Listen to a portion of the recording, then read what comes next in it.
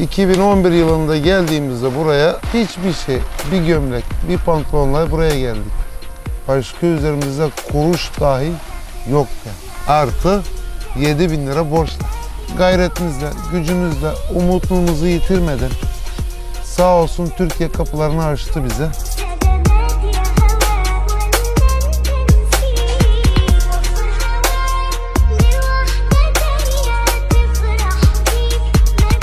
sağalır inek memesine yapışacak gibi süt verecek inek toplamaya başladık. Hangisi bize bugün para kazandıracak? Hem yemini karşılayacak hem para kazandıracak. Oynaya yapıştık aldık yani.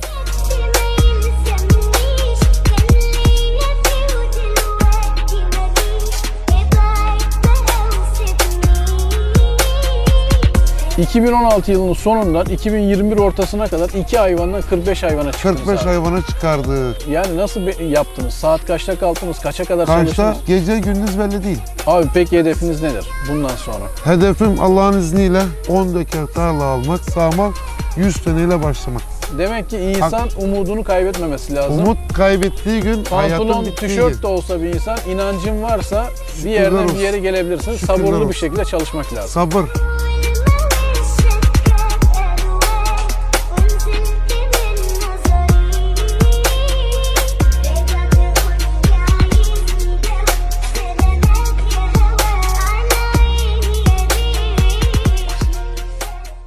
Manav Yem'den merhabalar. Bugün Çanakkale ili Biga ilçesine bağlı Kaşıkçıoba köyünde Mecit Yasin abimizin işletmesine misafir olduk. Şu anda işletmenin bahçesindeyiz.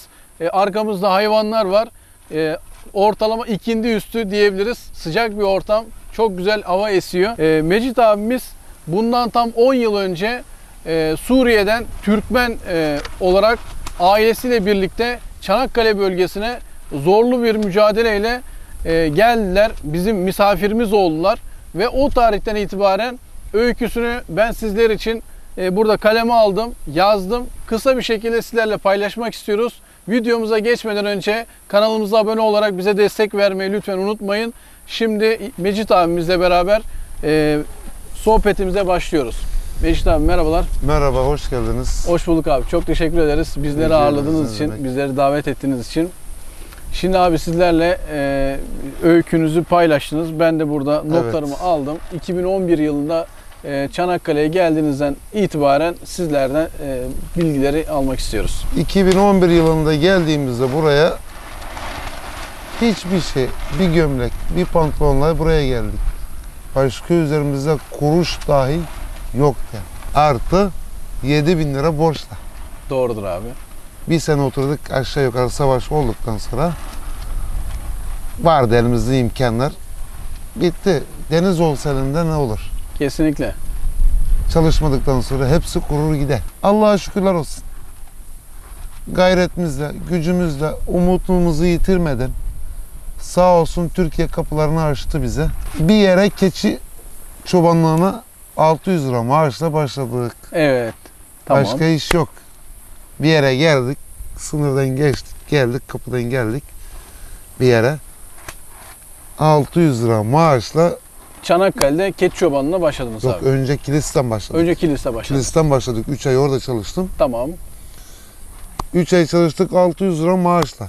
Çalıştığımız süre 3 ay Çanakkale'li bir arkadaşla tanıştık. Bizi oradan buraya getirdi. Tamam. Çanakkale'den buraya getirdi. Sonrasında abi 2013'te So- Biga'ya geldiniz. 2013'te Bige'ye geldik. Allah'a şükür veteriner hekimiyle sağ olsun Sıtkı Keçici. Şimdi Bige Belediye Başkan Yardımcısı. Evet. Sıtkı abimiz. Allah razı olsun. O bize işi öğretti. Hayvanın nasıl besleneceğini öğretti. Yola nasıl yürüleceğini öğretici. Hayvanın nasıl sağlık, hangi yönden sağlığı öğretti. Devam ettik. 2013 ile 2017 arası Sıtkı abinin yanında çalıştık. Çok Hayvanlarını, çobanlar, çobanlık 4 yaptık. yıl boyunca Sıtkı abinin yanındaydınız. Sıtkı abinin yanında çalıştık. Orada hem biraz borçlarınızı toparladınız hem, Hem biraz borçlarımızı Biga'ya alıştınız. Bige'yi öğrendik. Hayvan beslemeyi ve sağlık kısmını öğrenmiş oldunuz. Ee, Orada pratiğini yaptınız. sağ olsun bize hepsini öğretti. A'dan Z'ye kadar ne ilgili ne gerekiyorsa o söyledi biz uyguladık. Ha o söyleseydi ben uygulamasaydım bu hallere gelemezdim. Ya da meraklı olmasaydınız Meraklı da olmasaydık yine aynı bu şekilde. işi yapamazdık. Gene çoban geliriz, çoban gideriz. Başka bir şey yapamayız. Doğrudur. Abi 2016 yılının sonunda e, siz hayvancılık yapmaya karar 11 bin verdiniz. lira para biriktirdim ben. Sıtkı abinin yanında çalışırken 11 bin lira para biriktirdim. 11 bin lirayla iki tane buzağı aldım ben. Dişi. Tamam. Biri burada zaten. Evet. Arkamızda. Sarı buzağı. Biri o onlardan ilk temeli attığım hayvanlardan biridir. Çok güzel. Daha sonra Sarı bir buzağı. iki ay sonra bir iki tane daha düve aldınız. Bir iki tane yer aldık üzerine. Çalıştık. Hem çalıştık. Başka iş ekle. Sıtkı abinin hayvanlarıyla kendi iki buzağımızla dört tane yaptık bunları. Ama Çok- o dört tane de yetinmedik. Allah'a şükür şükürler olsun.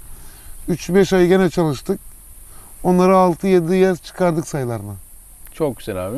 Bir senede onları gebeleştirdim ben. 3 aylıkken, 5 aylıkken, 4 aylıkken gebe düve olarak sattım hepsini. Sağılır inek, memesine yapışacak gibi süt verecek inek toplamaya başladık. Hangisi bize bugün para kazandıracak? Hem yemini karşılayacak hem para kazandıracak. O ineğe yapıştık, aldık yani. Aldıktan sonra 5 inekle başladım. Allah'a şükür şimdi 20 tane var. Ama 5 inekle nasıl yaptık? Gebe düveyi sattık, sağlar inek aldık. Zaman uzun olduğu için bunlara biz para yetiştiremediğimiz için gebe düveyi daha bir 4-5 ay beklememiz lazım ama biz hemen ineği çevirdik bunları. Sattık, inek aldık yerine. Hep nakit sıcak Heh. paranın peşinde Heh. oldunuz. Sıcak paranın. Devamlı Heh. aylık gelirinizi Devir arttırmaya dayım olacak. çalıştınız. Evet. Devir dayım olması için sağlar ineğimiz olacak. 1-2 ile 1-2 ile 5-6 ineğimiz oldu. Artı e, siz farklı bir köyde ilk başladınız hayvancılığa Biga'da, Sarık, Sarıkaya'da. Ben Sarıkaya'da başladım. Daha sonra Kaşıkçıoba bulunduğumuz köye geldiniz. Bu tabii tabii. E, burada hem kendi hayvanlarınızı başladınız sağmaya hem de köyde bir Orada- işletmede hayvan bakıcılığı olarak da çift mesai yapmaya başladınız. Ben bu köye geldiğim zaman 2 sen 5 sene aşağı yukarı toplam ben Sarıkaya'da durdum. 5 sene. Evet. 4 sene Sıtkı abinin yanında durdum. Bir sene başka damda kendi hayvanlarımla Sıtkı abi hayvanları o zaman bitirdi. Bitirdikten sonra ben şeye geçtim. Başka dama kiralık kendi hayvanlarım da var o zaman. Düveler falan vardı. Sıtkı abiden bıraktıktan sonra hemen sağıma ineğe çevirdim işleri. Gelir kalmadı ya. Evet. Düvelerde maaşla düvelere bakıyordum. Bu gelir bittikten sonra Hemen ineğe çevirdiniz. Hemen- sıcak para gelmeye Hemen başladı. sıcak paraya çevirmek için. Artı ben yoğumiye işlere gidiyorum yani. Sağa sola tarladır, çift dam temizlemedir, çift sürmedir, e, efendime söyleyeyim silaj çuvalamadır. Silajların kıyılarını açıyoruz biz tek sıralıktan biçtiğimiz için küçük çiftçiler olduğu için burası. Onları temizlerken şükürler olsun 5-6 tane sağlar ineğimiz oldu. Ondan sonra başka bir işletmeye gene girdim. Dedim Bir ekstra gelirimiz olsun ki hem ineklerden kazanalım Hem de normal hem piyasadan kazı olsun. para kazanalım Hı. hem normal aylık girdiğimiz olsun. Peki bu Başka kadar yerde. işi yani nasıl yaptınız? Saat kaçta kalktınız? Kaça kadar Kaçta? çalıştınız? Gece gündüz belli değil. Saat söylemeyelim. Çünkü bizim saatimiz ne zaman cebimiz dolu olduğumuz zaman rahat uykumuzu da alırız. Rahat yatarız. Saat 5 gibi ayaktayız. Gece 12 olur, 1 olur. Bazen hiç uyumayız. İşler sıkışık olduğu zaman saman zamanı, balya zamanı. Damlarda temizlik olur. Sağ sol işi olur. Efendime söyleyeyim ekstradan bir maaşımız var. Çobanlık yapıyoruz çünkü başka bir çiftliklerde. Sıt kahveden bıraktıktan sonra. O gelirimiz gitmesin diye dedik biz ineklerden yemeyelim. Çünkü ineklerden yedik mi o artmaz. İnekleri siz büyüt, kendi kendine büyütüyorsunuz. Heh, İçinde Kendi çıkan kendine parayı büyütüyor. kendisine Ce- yatırım yapıyor. Dışarıdan ne çalıştık? Affedersin 3000 lira. Bu ayımız ne kadar birikti? Hem dışarıdan takviye hem oradan aylığımızı alırız. Takviye yaparız. Kaç para biriktirdik? 3000 lira. Buzağı kaç paraya sattık? 2000 liraya. Ne kadar yaptı? 5000 lira. Bu inek kaç para? 7000 lira. 2 ay borca gireriz. 2 ay sıkarız kendimizi. 1 ay sıkarız kendimizi. 6'yı 7 yaptık. Öyle yaptık yani. Doğru da. 7'yi 6'yı 9 yapamadık. 6'yı 7 yaptık. 7'yi 8 yaptık. Buzağlarımız doğdu. Buzağlara bakamadık. Çünkü bizden yiyecek bunlar. Biz bıraksaydık daha mı başka olurdu? Onu Allah bilir ama o zamanki imkanlarla sütten para kazanıyorduk. Buzağdan pek kazanamıyorduk. Sütten para kazandığımız için o zamanlarda hep süte çalışmayı istiyorduk. Ekstra maaşımız var. Eşimiz de damda yardım ediyor bize. Kendi hayvanlarımıza da yardım ediyor. Çünkü bizim eşimiz dışarıda iş yapmıyor. Çalıştırmıyoruz. Aynen abi. Ve Fabrik, fabrikaya falan göndermiyoruz. Kendi Kaşı- işimize sadece yardım oluyor bize. Ben ekstradan maaşlı işteyim. O maaşlı işten bitiriyorum. hayvanlarınızın Eks- başına geliyorsunuz. Kendi hayvanımıza. Hayvanımızın işi yok. Ekstra Yevmiye piyasa gidiyorsunuz. işi, yevmiye işine gidiyoruz. Piyasa işine gittikten sonra gecesi gündüzü belli değil. Kesinlikle. Şimdi abi Kaşıkçıoba köyüne geldiniz. Kaşıkçıoba köyüne geldim. Burada gene dedim 2000-3000 lira bir maaşım olsun. Azıcık 3-5 o zaman sayıyı çoğalttım ben biraz. 3, 4, 5, 6, 7, 8'e çıktım. Buraya geldim 3 tane inek gene takviye yaptım. Küçük buzağısıyla, muzağısıyla hepsiyle burada 25 tane hayvanım oldu. Ama sıkışıktayım. Azıcık biraz borcum oldu. Sağ olsun dostlar kırmadı bizi. Senetsiz, sepetsiz bir sözümüzle hayvan verdiler. 3 ay dedik, 5 ay dedik. Buzağlarımızı çıkartalım elimizden. Danamızı kestirelim. Sene parasını toplayalım. 13 tane sağlar inek yaptım. Toplam 25 tane hayvanım oldu. Ne güzel. Artı köyde bir dostumuz yanına hayvanların 63 tane sayısı hayvanları vardı. Hem onlara koşardım hem benim hayvana. Artı piyasa işte. Çok güzel abi. Ee, 2021 yılında 20 tane sağmal inek yaptınız. 20 tane de boğanız ve düveniz var. Yani danalarınız 20 ve tane kısır var. hayvanımız var. Ee, efendime söyleyeyim 20 tane sağlar ineğimiz oldu. Şükürler olsun bu şimdilik alttan yetişenler bir yaşında düvelerimiz var 3 tane.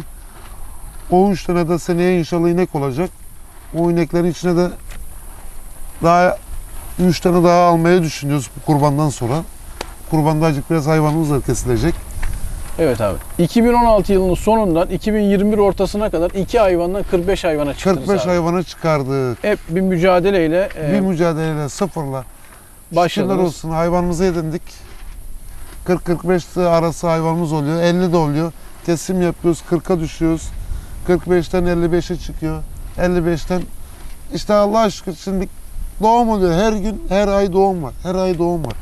Bu ay içinde işte doğum, doğuracak ineklerimiz var. Sayı çoğalacak Allah'ın izniyle. Kurban bayramında kesilecek hayvanlar var. Onların içine sağma inek katmak üzere kestirecek parayı harcamadan boş yere boş yatırımlar yapmadan sağmal hayvana. Anladım. Şimdi abi hayvanlarınızdaki en dikkatimi çeken husus çok hayvanlar temiz. Yani bu hayvanları böyle temiz tutmayı nasıl başarıyorsunuz? Temiz tutmayı önce yem dengelemesiyle hayvanların sağlığını dinliyoruz. Affedersin veterinerini dinleyeceksin. Bir kere çok iyi veterinerlerimiz var. Çok iyi ziraatçılarımız var. Herkesi dinleyeceksin. Dinlemeden hiçbir yere varamazsın. Sen kendi kafandan bir işi yaparsan bir merdiveni bir kere basamak yaparsın, ikinciye çıkamazsın. Onun için herkesi dinleyeceksin ki ne? Sen bir yoluna koyacaksın bu işi. Ondan sonra her gün bunlara seviyoruz. Sevmeden olmaz. Fırçası var. Bende özel fırça var böyle temiz. Sağıma girdin mi memeleyi taktım mı oturmuyorum ben bir anda. Hemen siliyorum onları fırçayla. Evet abi. Sert değil, yumuşak fırça. Evet. Acık hem sütünü kendi haznesi var hayvanın çünkü. O hazneden haznesini yukarıya çekmez sütünü salar hayvan. O Mutlaka. zaman ekstra sana bir kilo fazla ver. En azından bir kilo sana süt ver. Temiz hayvan mutlu Heh. hayvan oluyor. Mutluluk stresten uzaktır. Uzak tuttun mu o zaman hayvan sana mutludur.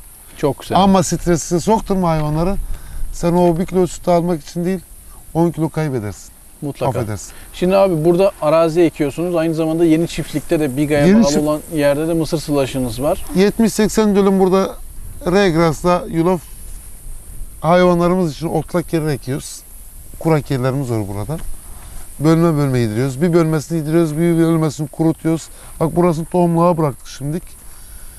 Bu bölgeyi tohumluğa bıraktık, yedirmedik hayvanları. İki kere yedirdim ama üçüncüye yedirmedim. Burada Reygras var herhalde. Reygras. Tamam. Regras tohumu. Şimdi buranın tohumunu alacak. Tohumunu da bedavadan çıkartmak için iki kere otlattım ben burasını. Gübre attım. Çok güzel. Üçüncü biçimi Üçüncü tohuma biçimi bıraktınız. tohuma bıraktık. Çok güzel. Tohuma bıraktıktan sonra bu tohumu dedik alırız. Tohum parası vermeyiz. Ne güzel. Hayvanlarınızda abi yonca otunuz var, yulaf otunuz var, çayır otunuz, samanınız ve mısır sılaşınız var. Aynen. Bunlarla yem karma yapıyorsunuz. Yem karma artı silaç. Evet. Sezon geldiği zaman pancar küspemizi de alıyoruz. Çok güzel. Artı sezonda yaptığınız yövmiyeli işlerde bazen nakit para almayıp kaba yem talep ettiğiniz durumlar var. Saman yerini alıyoruz, yulaf alıyoruz. Neyi çıkıyor? Adamda ihtiyacı yok. Bin balyası oluyor bazen. Biz o balyaları çekiyoruz. Ücretimiz ne kadar? Misal atalım benim bin lira alacağım var. 1500 lira alacağım var. Arkadaş bunlar ne kadar? Misal bin lira. 100 tanesi ne kadar? Bin lira. Ya ki 500 lira. 2000 lira. Neyse sen bana para verme. Para cebinde kalsın. Bana yiyici ver hayvanlarıma. Ne güzel. Bana da yiyici verme. Hayvanlarıma ver. Kaba yem talep ediyorsunuz. Hayvanlarım tok olduğu zaman ben de tokum. Evet abi. Hayvanlarım aç olduğu zaman ben uy- evde uyuyamam. Haklısınız. Önce hayvanlarım, sonra ben. Sizin baba mesleğiniz bir de ayakkabıcılık. Siz e, Halep'te e, ayakkabıcılık yapıyormuşsunuz. Evet şükürler olsun. Bizim ana meslek ayakkabıcı imalat. Kendi atölyemiz vardı. Dağıldı buraya geldiğimizde. Ama hayvancılık hep vardı yani. Hayvancılık bizde bitmedi. Ama burada öğrendiğimiz ekstradan veteriner hekimin yanında çalıştığımız için şükürler olsun bize bir şeyler kattı yani. Sadece çobanlıkla olmuyor bu iş. Kesinlikle. Efendime söyleyeyim sadece veteriner bu işi yapamaz. Veteriner çobana ihtiyacı var, çoban veterinere ihtiyacı var. İkisi bir arada toplanması gerek. İkisi bir arada toplanmadı mı hiçbir şey olmaz. Çoban kendi kafasına göre çalıştı mı, veteriner kendi kafasına göre çalıştı mı bu iş olmaz. Sen veterinerini dinleyeceksin. Veterinerin yapacağı işler var, senin yapacağın işler var. Veteriner gelip de sen damında sağım yapamaz. Ben de onun işini yapamam. Çünkü eğitimi o, o eğitim almış. Ben çobanlık eğitimi almışım. Ondan alacağım bilgiler bana önemli. O bilgileri ben değerlendirmem lazım. Aynen öyle abi. Entegre çalışıyorsunuz, entegre çalıştınız. Şimdi abi e, 12 tane sağmal var hala hazırda aktif olarak. Ne kadar süt alıyorsunuz günlük olarak? Ne kadar süt döküyorsunuz kooperatife? 230 ile 250 civarı süt tutuyoruz. Artı buzağlar da emiyor işte arada. 20 ile 22 kilo arası benim ortalamam her zaman oluyor yani. 20, 20 ile 22, 23'e bazen oluyor. Ha, eskiden daha iyi oluyordu. Neden? Sayı azdı. Benim ortalamam 30 kiloydu. Hayvan sayısı az olduğu için. Hayvan sayısı çok. Bir de yerimi- yerimize yeni geçtiğimiz için bu damları yeni geçtik. Daha 7-8 ay oldu. Eski damlardan çıktık buraya. Hayvanlar hala oturuşmadı. Oturuşmadığı için e, çok hayvan da gebe, ağır gebe. Ağır gebe olduğu için ister istemez sütler geriye çekiliyor. Ortalamamız o. E, 30 kilo süt veren var. 40 kilo da süt veren var. Ama ortalamamız bizim 20 ile 22 oluyor. 25 desek yalan olur. Şimdi abi sizin e, Halep'te bir köyünüz, ata köyünüz var. E, dediniz ki Gaziantep'e orası 50 kilometre, Halep merkeze 70 kilometre. Aynen. Sizin dedeleriniz Gaziantep'e hep alışveriş yapmaya gidiyor. Önceden sınır olmadığı için bizim dedelerimiz buraya geldi. Kilis, Antep alışverişini yapar köye dönerdi. Halep'i bilmezlerdi. Sınır olduktan sonra biz burada Türkçeyi öğrenmedik. Ana dilimiz Türkçe. Bizde bebe doğarken Türkçe öğrenir. Okulda Arapça öğrenir. Bizde Allah'a şükür şimdi ne mutlu bize iki tane dilimiz var. İki dil demek iki insan demek. Mutlaka. Üç dil demek, üç insan demek. Buraya geldik sağ olsun Türk devleti açtı bize kapıları. Sağ olsun imkanları açtı. Devlette ne işimiz varsa görülüyor. Türk vatandaşı nasıl muamele görülüyorsa biz de aynı muameleyi görüyoruz. İmkanları açmasa biz bu hale gelemeyiz. Bir tek emek yetmiyor. Devlet desteği de istiyor. Tek başına hiçbir şey yapamaz. Devlet desteği olmasa biz bu hayvanları üzerimize alamayız. Affedersin süt dökemeyiz. Buzağları yazdıramayız. Devlet desteği şart. Mutlaka abi. Kesinlikle. Onun üstüne ama mücadele vereceksin. Çalışacaksın. kimse yani hiçbir zaman Çalışmadan yatmayacaksın, hiç evde şey oturmayacaksın. olmaz. Evet. Biz sıfır eksi 7 bin lira borçla geldim ben buraya. Şu 11 an bin lira para topladım. Şu an Allah'a şükür 1 beş, milyon altı yüz liralık bin. belki 5 600 birikiminiz var. 700 bin liralık malzemem var. Traktörümüzü aldık. Karma makinemizi aldık. Affedersin. Takımlarımızı düzdük. Traktörün takımlarını dizdik. Hayvanlarımızı çoğalttık. İki tane hayvanla başladık. 45 tane hayvana ulaştınız. 45 tane hayvanı bulduk. Küçüğü de var, büyüğü de var. Gebe hayvanımız var. Onun altından bir yaşında var. Her sene hayvanların içine karışacak gibi hayvanlar olmaya başladı. Şu an ayaklarımızın üzerine durmaya başladık 5 senede. Önceden sıkıntılarda, hep sıkıntılarla.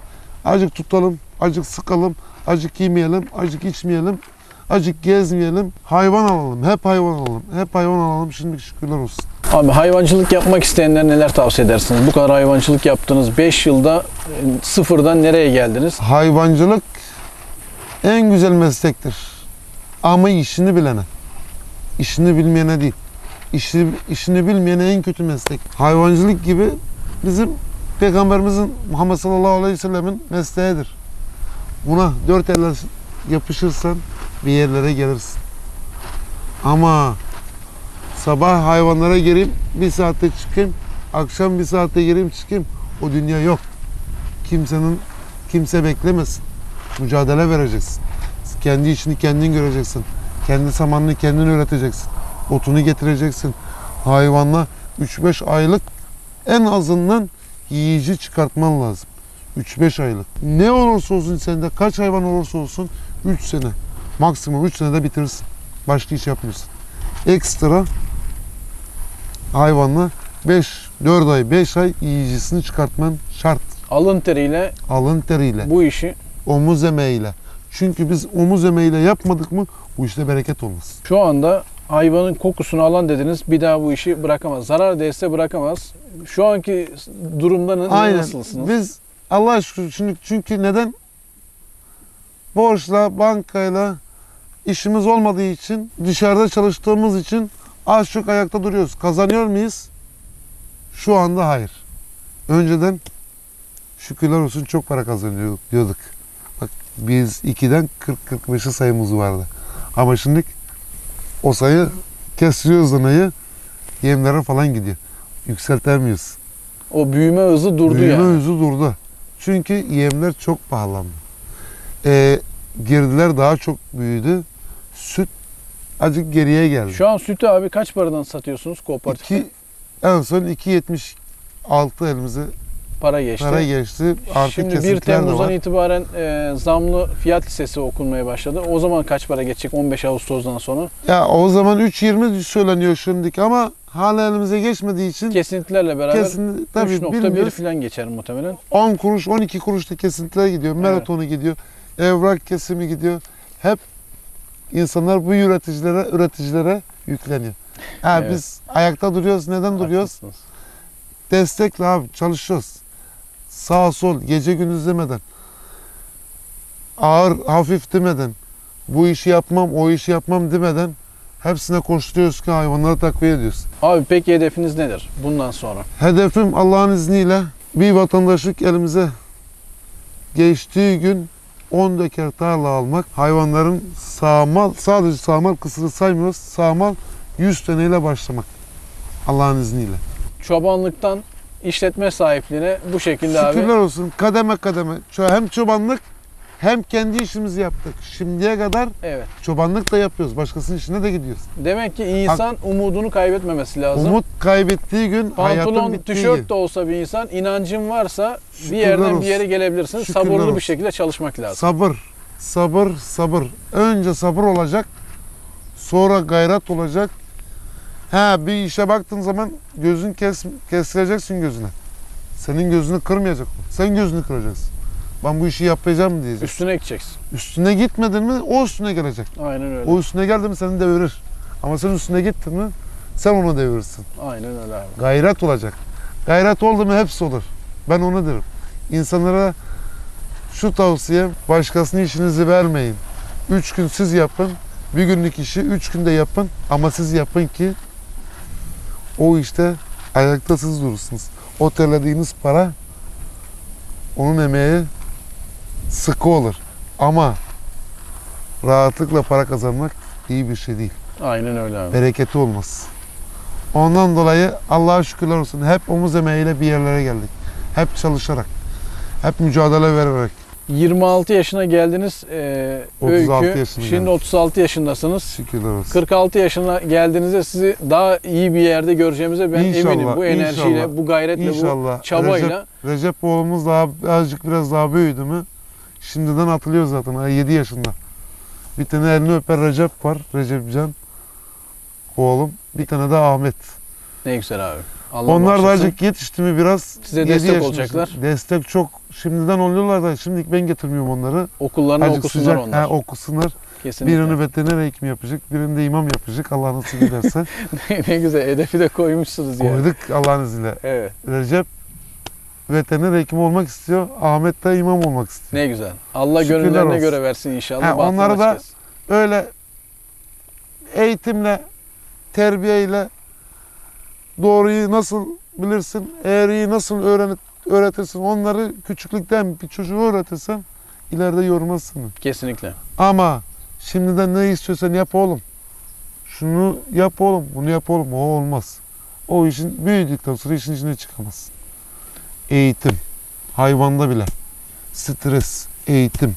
Eğitim olmadı mı hiçbir yere varamazsın. Çok teşekkür ediyoruz Meşit abi. Rica ederim. Çok sağ olun. Bizlerle hayat öykünüzü paylaştınız. Allah Pratik hayat tecrübelerinizi paylaştınız. Merakınızı paylaştınız. Ee, o 5 yıl içerisindeki e, gayretlerinizle bizlere örnek oldunuz.